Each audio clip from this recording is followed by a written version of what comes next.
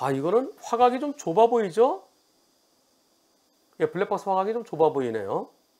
블랙박스가 화각이 넓은 것하고 좁은 것하고는요. wide는 내 눈에 안 보이는 것도 찍혀 있어요. 그리고 wide는 앞뒤 간격이 길어 보여요. 여러분들 그 메타세쿼이아 메타세쿼이아 거리를 한번 찍어 보세요. 카메라로.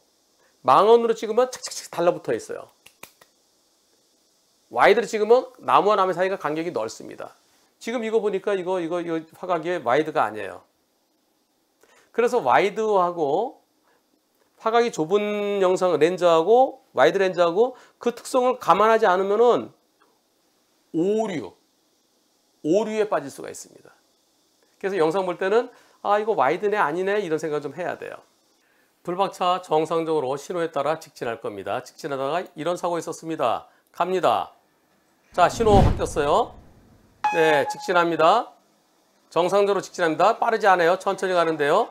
천천히 가는데 그런데 이러 아저 자전거 저 자전거 어떻게 되나요?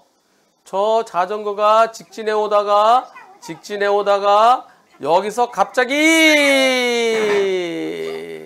어허 아니 자전거가 자전거는 제일 바깥차로 자전거 도로 있으면 자전거 도로 가야 되고 자전거 도로 없으면은 제일 바깥차로야 우측 가장자로 가야 되는데 근데 저 좌회전차로 앞에서 그냥 쭉 직진해 오다가 근데 불박차 코앞에서 갑자기 꺾고 좌회전 들어왔어요.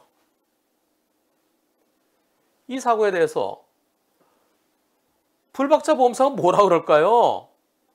불박차 보험사가 뭐라 그랬을까요, 여러분들? 보겠습니다. 우리 보험사에서 자전거 90, 불박차 10% 들어갑니다. 아니 왜 불박차 10% 보는 이유가 뭔가요? 불박차가 뭘 잘못했다고 그러던가요? 그랬더니 자전거라는 이유로 상대가 자전거라는 이유로 10%를 보고 있습니다. 어떻게 생각하십니까? 자전거 100% 잘못이다. 상대가 자전거이기 때문에 불박차에게도 조금은 잘못이 있다. 투표 시작. 네. 상대가 자전거라는 이유로 10%라는 게 그게 무슨 말인가요? 아니 저 자전거 저, 저거 어떻게 피해요?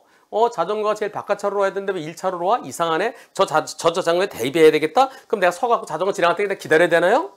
아니잖아요. 아이고 이제 오늘 자가격리 지금 이제 해제됐습니다. 이 소리 듣기 힘든데 한번 들어보시죠. 도대체 우리 보험사요. 불박차 불박차 보험사가 도대체 무슨 얘기입니까? 예, 자전거라는 이유만으로 10% 보고 있습니다. 이건 아니라고 봅니다.